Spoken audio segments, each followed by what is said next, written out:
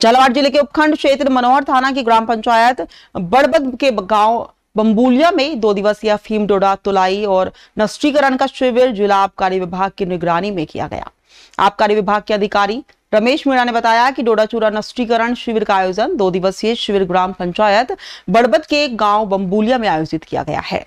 जिसमें मनोहर थाना तहसील में कुल एक सौ सैंतालीस काश्तकार है, जिसमें से 135 काश्तकारों ने शिविर में आकर डोडा चूरा नष्टीकरण करवाया, जिसका कुल वज़न एक किलो हुआ है,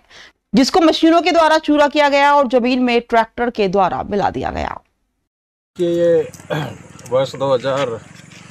सत्रह अठारह के बाद में पहली बार कोई कैंप लग रहा है, जिसमें डोडा चूरा निस्तारण किया जा रहा है, और, इसके लिए